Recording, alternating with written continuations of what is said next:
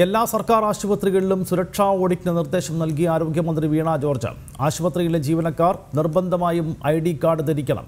സുരക്ഷ മുൻനിർത്തി മെഡിക്കൽ കോളേജുകളിൽ സി സി ടി വി ക്യാമറകൾ സ്ഥാപിക്കാനും സുരക്ഷാ ജീവനക്കാർക്ക് പരിശീലനം നൽകാനും തീരുമാനിച്ചിട്ടുണ്ട്. കോട്ടയം മെഡിക്കൽ കോളേജിൽ നിന്നും കുട്ടിയെ തട്ടിയെടുത്ത സംഭവത്തിൽ മെഡിക്കൽ വിദ്യാഭ്യാസ ഡയറക്ടറോട് റിപ്പോർട്ട് തേടി. റിപ്പോർട്ടിന്റെ അടിസ്ഥാനത്തിൽ തുടർ നടപടി സ്വീകരിക്കുമെന്നും മന്ത്രി പറഞ്ഞു. മെഡിക്കൽ കോളേജിൽ കുഞ്ഞിനെയും അമ്മയെയും സന്ദർശിച്ച ശേഷം പ്രതികരിക്കുകയായിരുന്നു ആരോഗ്യമന്ത്രി.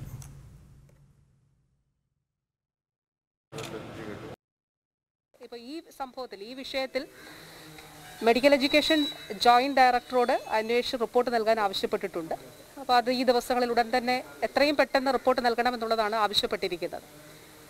അതുകൂടാതെ പൊതുവെ നമ്മുടെ ആശുപത്രികളിലെ ഒരു സുരക്ഷ ഓഡിറ്റ് നടത്താൻ നിർദ്ദേശം നൽകിയിട്ടുണ്ട്. അതായത് നിലവിലുള്ള സംവിധാനങ്ങൾ എങ്ങനെയാണ്? ഇപ്പോൾ സി സി ടി വി ക്യാമറകൾ ഉണ്ടെങ്കിൽ അത് വർക്ക് ചെയ്യുന്നുണ്ടോ? അത് പര്യാപ്തമാണോ? അതുകൂടാതെ മറ്റ് ഇതുൾപ്പെടെയുള്ള എല്ലാ കാര്യങ്ങളും.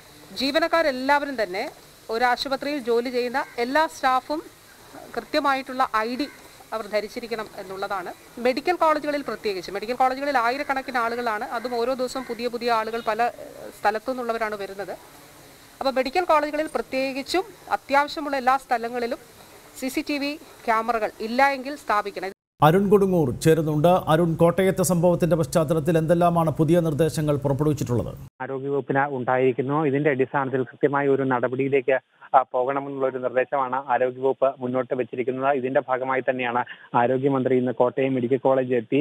ഈ സ്ഥിതിഗതികളെല്ലാം തന്നെ വിലയിരുത്തിയത്. അതോടൊപ്പം തന്നെ തട്ടിക്കൊണ്ടുപോയ കുട്ടിയുടെ മാതാപിതാക്കളെയും കണ്ട് ആശയവിനിമയം നടത്തി. പക്ഷേ വലിയ ഒരു പരാതിയുടെ പ്രളയമായിരുന്നു ആരോഗ്യമന്ത്രിക്ക് മുന്നിലേക്ക് ഇവിടെ നിന്നും എത്തിയത്. സെക്യൂരിറ്റി ജീവനക്കാരുടെ അടക്കമുള്ള പെരുമാറ്റത്തെ ദൂഷ്യത്തെക്കുറിച്ചുള്ള കുറിച്ചുള്ള നിരവധി പരാതികൾ ആരോഗ്യ മന്ത്രിക്ക് കിട്ടിയിരിക്കുകയാണ്. എന്തായാലും വലിയ ആ, സുരക്ഷാ വീഴ്ച ഇവിടെ ഉണ്ടായിരിക്കുന്നു. ഇതിന്റെ അടിസ്ഥാനത്തിൽ കൃത്യമായ ഒരു സുരക്ഷാ സംവിധാനങ്ങൾ ഒരുക്കണമെന്നുള്ള ഒരു ആവശ്യം മുന്നോട്ട് വന്നിരിക്കുകയാണ്. ഇതിന്റെ ഭാഗമായി മൂന്ന് മാർഗനിർദ്ദേശങ്ങളാണ് ആരോഗ്യവകുപ്പ് മുന്നോട്ട് വെച്ചിരിക്കുന്നത്. അതിൽ ഏറ്റവും പ്രധാനപ്പെട്ടത് ഈ മെഡിക്കൽ കോളേജ് പരിസരം ഒന്നാകെ സി സി ടി വി ദൃശ്യങ്ങളുടെ കീഴിലാക്കുക എന്നതാണ് ഏറ്റവും പ്രധാനപ്പെട്ട കാര്യം. അതോടൊപ്പം തന്നെ മറ്റൊരു പ്രധാനപ്പെട്ട കാര്യം ആശുപത്രി ജീവനക്കാരെല്ലാം തന്നെ തങ്ങളുടെ ഐ ഡി കാർഡ് ധരിച്ചതിന് ശേഷം മാത്രമേ ജോലിയിൽ കയറാവുള്ളൂ ഇത് കൃത്യമായുള്ള പരിശോധനകളെല്ലാം തന്നെ നടത്തും എന്നതാണ് കോട്ടയത്ത് നിന്നും അരുൺ കൊടുങ്ങൂർ ആണ് വിവരങ്ങൾ നൽകുന്നത്.